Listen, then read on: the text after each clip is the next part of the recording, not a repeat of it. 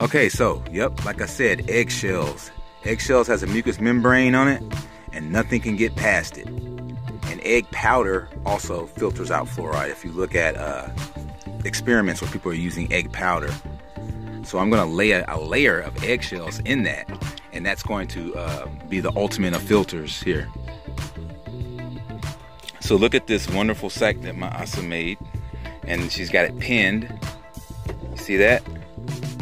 Gonna flip it after she finishes sewing it, and it's gonna create a sack that's gonna be uh, circled out here with like a cap or something.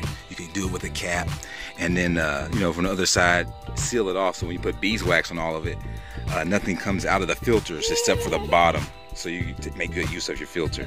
And this is the Karef. As you see, there's a lot of amethyst in there right now, and copper from original. But we don't want to run around looking for water anymore. We want to just get any water that we see in a fallout situation, any kind of desperate situation, you just want to use whatever you can. Shit. Fuck, piss in it for peace sake. No, no, don't want to piss in it. so, there you have it.